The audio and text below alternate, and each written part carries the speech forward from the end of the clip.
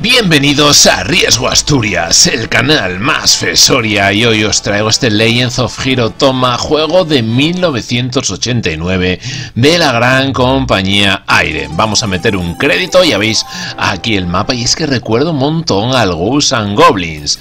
Es un juego en el que manejamos a Tommy. ¡Suéltame, suéltame! ¡Sacadle ahora mismo de aquí! ¡Tommy, fuera! ¡Fuera! ¡Suéltame! Le has tirado al suelo. ¿Por qué no lo intentas conmigo ahora?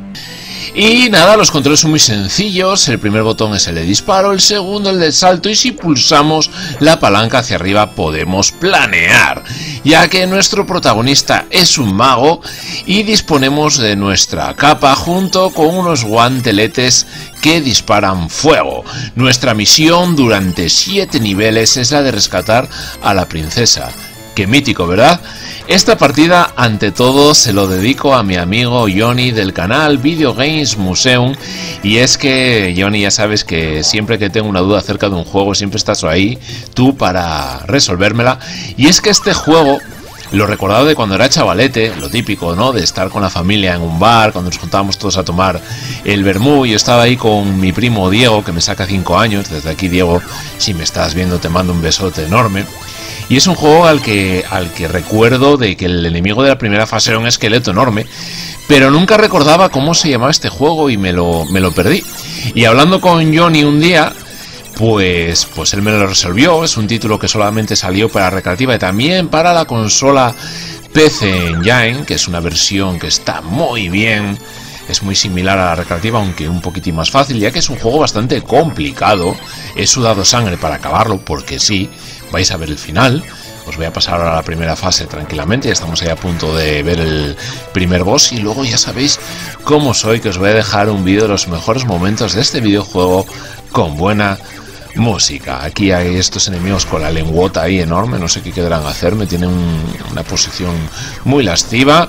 Venga, vamos a pasárnoslo rápido, estamos ahí a punto del boss. Y es que este juego, qué típico los juegos de los 80, los 90 que salían monstruos sin parar. Y es que era venga a disparar, venga a disparar y salían bichos por, todo, por todos los lados. Fijaros en el fondo, con todas las calaveras, qué bien desarrollado está. Y este enemigo, a mí ya os digo que cuando era chavalete, me daba un mal rollo, porque cuando salió este juego yo tenía 10 añetes. Y lo que visteis también no es un Mario Bros, lógicamente, pero cuando saltamos encima de los enemigos podemos dejarlos paralizados momentáneamente. Eh, nada, este enemigo es muy facilote, simplemente es eso, ir dándole, disparándole, disparándole. Es un título que hay que tener cuidar mucho de los power-ups, porque según vamos mejorando nuestra arma, eh, pues vamos, vamos dando un caña enorme a los enemigos. Pero si nos matan, empezamos con el disparo sencillo y ahí sí que nos va a costar muy, mucho trabajo el pasarnos el juego. Me ha recordado mucho en este aspecto al juego de Insector X.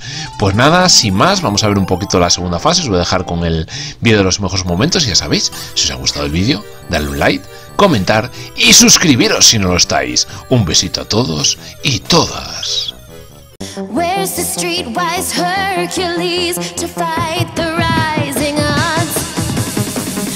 Isn't there